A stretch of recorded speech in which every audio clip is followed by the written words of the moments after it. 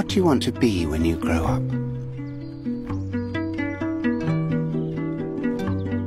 Kind.